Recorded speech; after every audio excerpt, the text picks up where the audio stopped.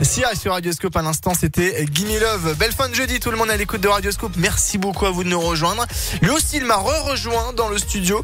C'est Johan Paravis. Salut Johan. Salut Bastien, salut à tous. Et allez, c'est parti de la culture générale, s'il vous plaît. Pardon, le Paravis explique, on vous écoute. Et on s'intéresse aujourd'hui au, patrimoine de notre belle région Auvergne-Rhône-Alpes ah, avec quelques petites anecdotes euh, insolites. On va prendre euh, tout d'abord la direction de Clermont-Ferrand avec la cathédrale Notre-Dame de l'Assomption. Elle a une petite particularité, cette cathédrale.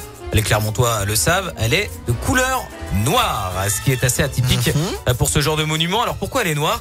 Eh bien parce qu'elle est principalement faite de pierre de Volvic, célèbre pierre volcanique hein, de couleur noire. C'est ah, je savais pas. Et ouais, sa forme actuelle, sa forme actuelle date du XIIIe siècle et à l'époque, on avait tout simplement jamais vu ça hein, dans le monde. Euh, donc sa particularité lui a valu le nom de cathédrale des charbonniers. Et elle subit d'ailleurs d'importants travaux en ce moment. On vous en a récemment parlé sur Radio Scoop euh, car elle n'est plus toute jeune. Euh, Notre-Dame. Je vous emmène maintenant où? À Lyon. Avec un, patrimoine un petit peu plus immatériel cette fois-ci, puisqu'on va parler de marionnettes. Et en l'occurrence. Ah, de guignol Eh oui, de guignol, bah, évidemment. que oui. Inventé à la fin des, années 1700 par un certain euh, Laurent Bourguet. Et Lolo, à l'époque, eh bien, il essaie de gagner euh, sa croûte, comme tout le monde. Hein. il a besoin d'argent. Bah, et du coup, il, il se met à son compte, voilà, en tant qu'arracheur de dents sur la place publique de Lyon. Alors quel rapport avec la marionnette me direz-vous?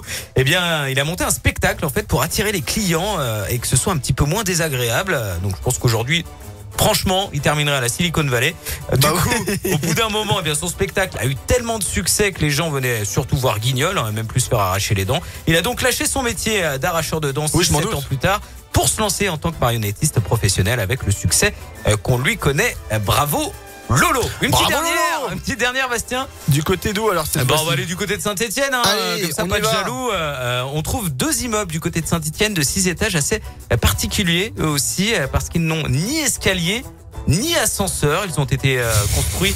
Ils ont été construits dans les années 30 par l'architecte Auguste Bossu qui a décidé en fait d'utiliser une rampe en pente douce à la place. En fait, c'est un genre d'immenses escaliers en colimaçon mais sans marche. Je voilà, escalier mais sans marche. Voilà, je vous montrerai des ah, photos sur, sur, radioscoop.com.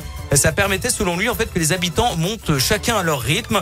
Là aussi, hein, d'ailleurs, c'était une innovation à l'époque. Euh, vous les trouvez ces immeubles sur le boulevard Daguerre, pas très loin du centre commercial Centre 2. Ils sont toujours habités aussi euh, aujourd'hui hein, ces immeubles euh, et on les surnomme les maisons sur escaliers tout simplement. Les maisons avec la pente douce. Tout à fait. et à savoir que cet escalier en fait atypique est, est inscrit au monument historique comme l'un des l'une des deux façades de l'immeuble. On trouve en fait ce genre de rampe aussi au musée. Euh, alors là, franchement, ça va être compliqué. Guggenheim, ah. Guggenheim de New York. Mais c'est alsacien plutôt, non? Non, non, non, non, non, mais je suis très nul. Euh, ce qui a été construit donc en 59, ce musée. Peut-être que l'architecte a été inspiré par notre bon vieux Auguste, sait-on jamais. Oh là, mais c'est incroyable, on a appris plein de trucs donc sur Clermont, saint et Lyon. Exactement. Merci beaucoup, Johanna. Je partirai bah aussi, elle veut que vous partiez. Mais non. Ok, je pars. Restez, restez, Johan. Merci beaucoup pour le Paravé Explique. Le Paravé Explique, on le retrouve sur radioscoop.com. Sur Radioscoop. Merci beaucoup, Johan. J'ai appris plein de trucs. Ah bah, avec grand plaisir. C'est un grand plaisir. Aussi, je partirai pour la suite de vos tubes. Et juste avant, Jamie Rockway arrive. Ne bougez pas.